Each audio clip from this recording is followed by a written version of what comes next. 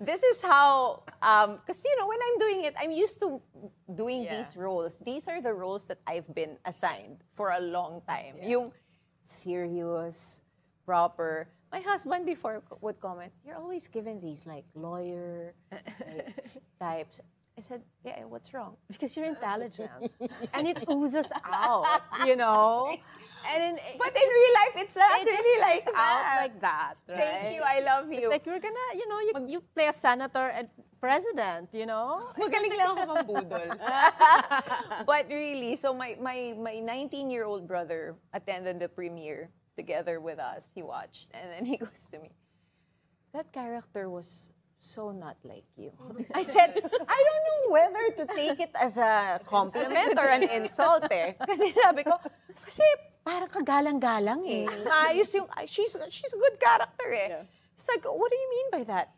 Because she's so reserved and then not like you. I'm like, because I'm loud in person. I'm like, I'm, you know, I'm so different. Like she's very black and white. I tend to kind of play around with the Yeah. Yeah. grayish area sometimes because I just believe that there are a lot of gray areas in life. So parang I'm more flexible than her. Let's just put it that way. And um, but I resonate with the character in certain areas, of course, and I, I had to find those those pockets of of her humanity that I could really, you know, understand Yeah.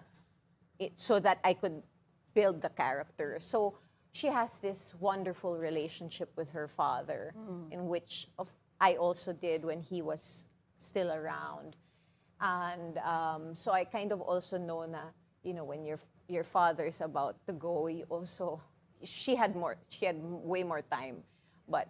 But you know, like you would do anything, so I understood her choices um, in Yeah. the beginning, and um, also I was like her in a sense that when I was much younger, I was super walang okay. Like I, I had probably several Sheilas in my life. Alam mo yun, parang I was okay. And it was much later on in life when I um, discovered that I want, that I had this drive in me.